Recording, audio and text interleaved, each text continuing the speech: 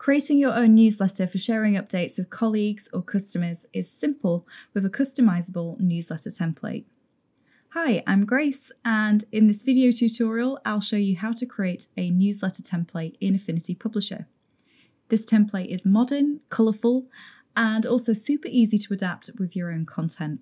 And I've also included a free downloadable template for both Affinity Publisher and Adobe InDesign.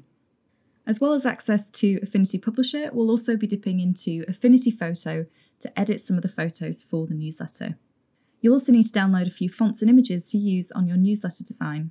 You can find the links for these in the details below the video. Okay, ready? Right, let's get started. So first things first, open Affinity Publisher and go to File and New.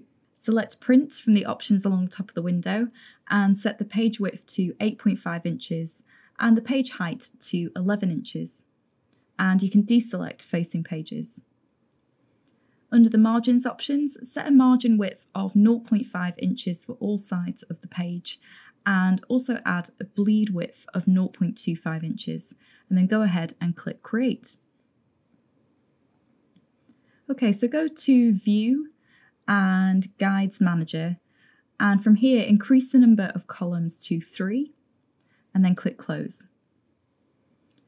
Double click on page one in the Pages panel to make sure that you're on the main page of your document and not on the master page. Then go to the Layers panel and click on the Add Layer button at the bottom right of the panel and name this layer Background. Repeat that to create two more layers, naming them Colour and Type. And then you can select both the colour and type layers and lock them by clicking the padlock icon at the top right. Then go to the Swatches panel and choose Add Global Colour from the drop-down menu at top right. Name the swatch Newspaper White and set the levels below to Cyan 0, Magenta 8, Yellow 9 and Key to 0. Then click Add. Repeat this to create four more CMYK swatches. So we've got Coral, which is Cyan 0, Magenta 81, Yellow 78 and Key 0. Blue is going to be cyan 79, magenta 47, yellow 0, and key 0 as well. And yellow, which is cyan 4, magenta 26, yellow 88, and key 0. And finally, your last swatch is going to be green, which is cyan 73, magenta 0, yellow 71, and key 0. With your colour palette now ready to use, we can start getting creative with our newsletter design. So working on the background layer, select the rectangle tool from the tools panel and drag across the whole of page one, extending the edges up to the bleed. From the swatches panel, set the fill colour to newspaper white.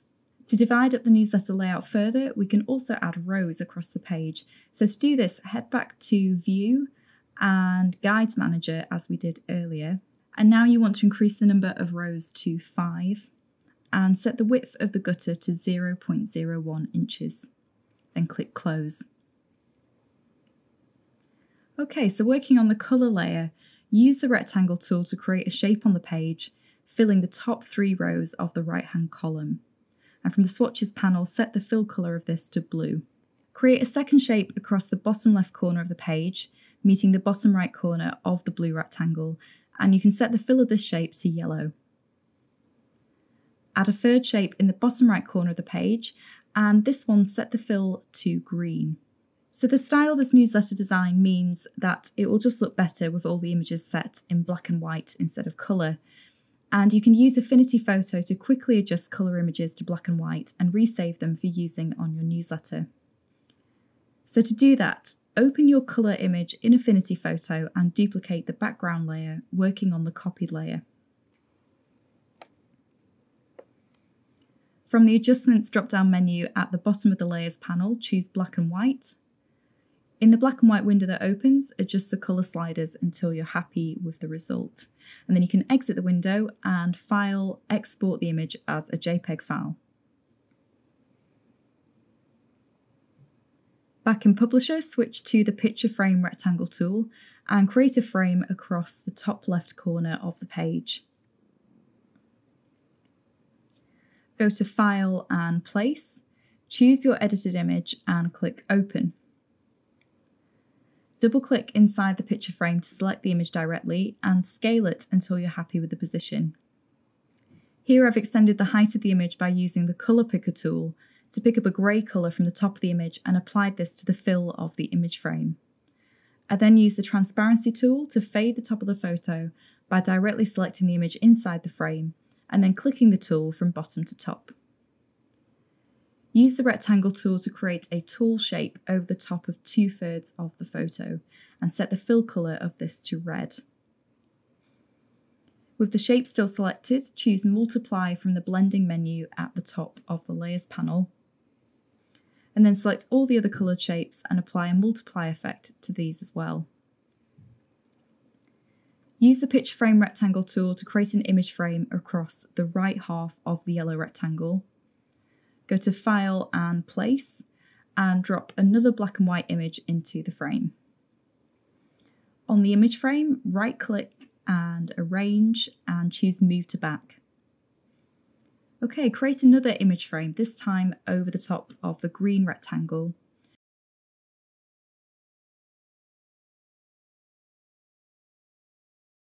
And a good tip, if you need to hide the top or side of an image, you can use the transparency tool to create a subtle fade on any visible edges. Then as before, right click and arrange and move to back. Use the Pitch frame ellipse tool to create a circular image frame over the bottom of the blue rectangle. File, place an image before right clicking and arrange and move to back as we did before. and then you can lock the colour layer and unlock the top layer type. Use the frame text tool to create a text frame to the left side of the red shape, typing in 1. From the character and paragraph panels, set the font to Liber Grotesque Bold, and from the swatches panel, set the font colour to red.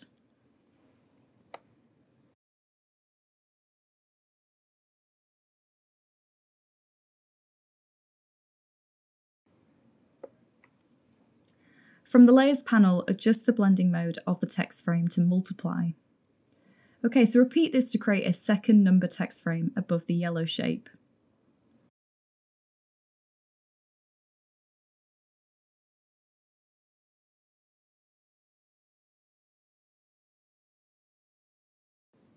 Then create a larger number 3 text frame to the left of the blue shape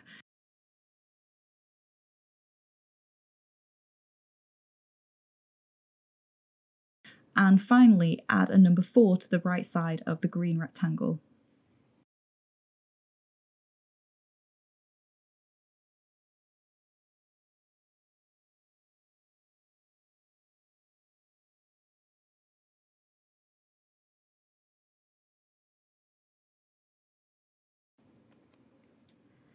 Create another text frame across the top left corner of the page, typing in the title of the newsletter.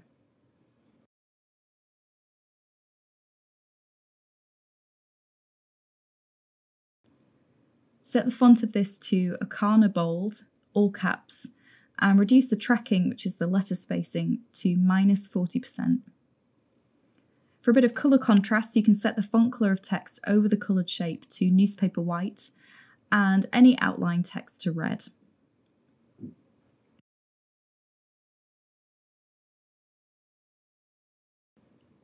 You could also add the issue number and date to the top right corner and for this you can set the font to Okana Bold as before.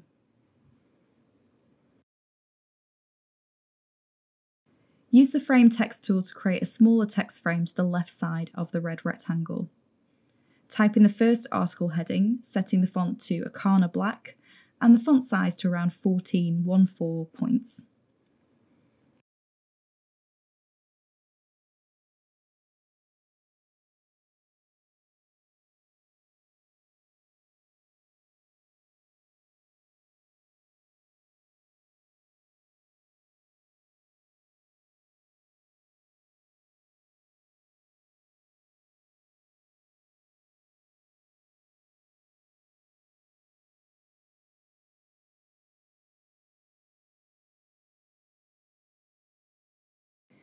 Create a new frame for the start of the body text, setting this to Ava Bold, size 8 points.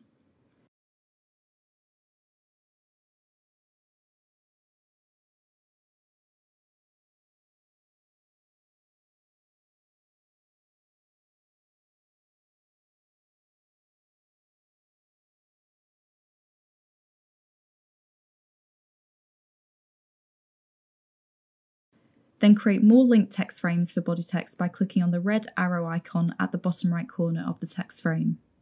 And then click again to create a linked text frame. You can arrange these into two columns, adjusting the font colour of text in each to improve contrast against the background. And then copy and paste the title and body text frames to populate other areas of your publisher newsletter layout.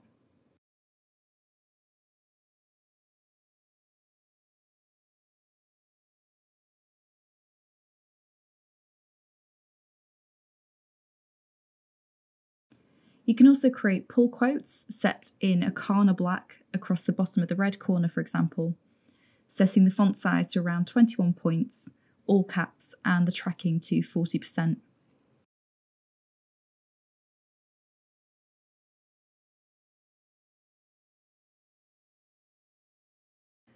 You can copy and paste the quote text frame to create a second pull quote above the yellow corner, adjusting the font colour to match.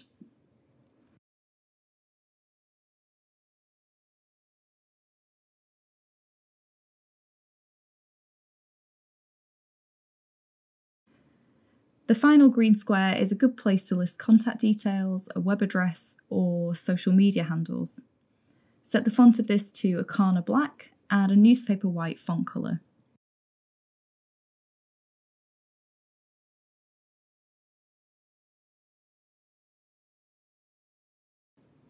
Okay, brilliant. So when you finish working on your newsletter design, it's time to export your template as a PDF, ready for sending to print. So make sure first to File Save Your Work before heading back up to the File menu and choosing Export.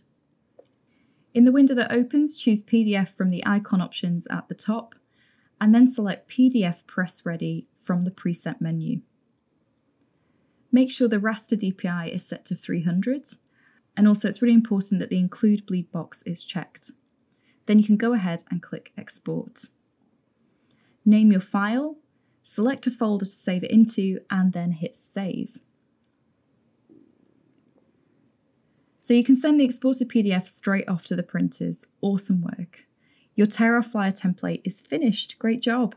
In this tutorial, you've picked up a wide range of skills and techniques for how to create publisher newsletter templates, from setting up a blank newsletter layout to creating colour swatches, placing images, and formatting typography to create a stylish and contemporary business newsletter template. If you want to compare your design with my own, make sure to download the completed newsletter template. It's also available as an InDesign template as well. My name is Grace, and a big thank you again for watching this Envato Tuts Plus video tutorial, and I hope to see you for more design tutorials soon.